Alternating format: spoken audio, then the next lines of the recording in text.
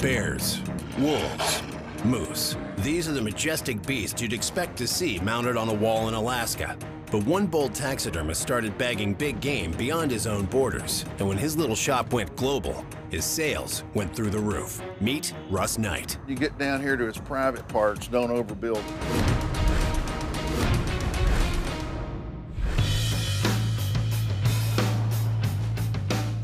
I'm Russ Knight, owner of Knight's Taxidermy in Anchorage, Alaska. Bringing dead animals back to life has made me millions. I got your warthog done. Nice. Taxidermy is truly an art form, taking a deceased animal and make it look alive. Wow, you look a lot alike. Well, we do have a certain flair about us, don't we? Knight's Taxidermy is a full-service studio. Based on fish and game numbers, I get between 25 and 30 percent of all the total animals taken in Alaska. So we're making some pretty serious dough. It's kind of a dirty job, and it's kind of bloody, and it's not always pleasant. But I love taxidermy and always have, ever since I was a teenager. As a kid, I was in love with the outdoors. So when I was a young fella, about 13 or 14 years old, I saw an ad in the back of Field and Stream, and it said, learn to mount animals. And this is the mail order course that I took right here that I paid a dollar a lesson for. All it was was drawings of what to do. But those drawings did the trick. 12 months later, Russ was a certified taxidermist, and his skills were in high demand. The next thing I know, I got guys bringing me birds, foxes, and squirrels to school, take them home and mount them and bring them back the next day. But it wasn't an overnight success. I struggled for many, many years, and I had to live off my wife's paycheck.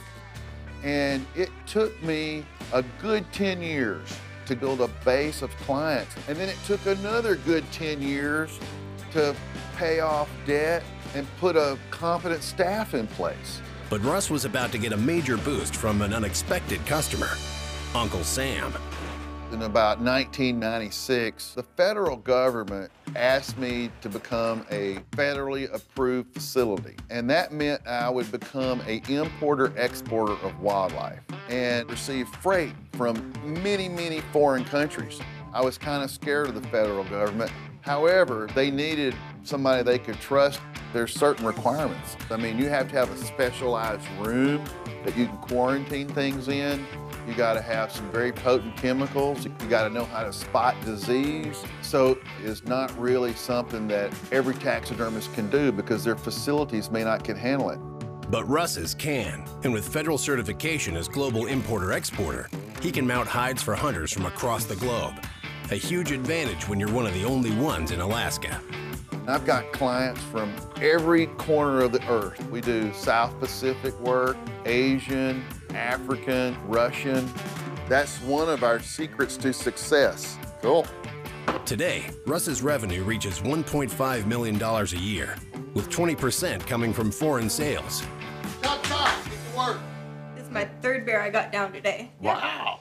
When it comes to a life-size bear mount, I would charge $8,500 for. I'm gonna make a profit of about $3,500. I'm gonna do about 25 of those a year. Hunters aren't the only ones calling on Russ's goods. If interior designers or homeowners need a bear rug for a great room, Russ is the guy. When it comes to bear rugs, on average is gonna cost about $1,700. I do about 300. I'm probably gonna make a profit of between five and $600 on that bear rug. That's a lot of bears. And this is the fur room. Probably $2 million worth of skins ready to be mounted. We've got all kinds of animals. This right here is a brown bear, African kudu, black bear, steenbok. And this is kind of a very unique and rare bear. This is a cinnamon colored black bear. You see fur, I see dollar signs.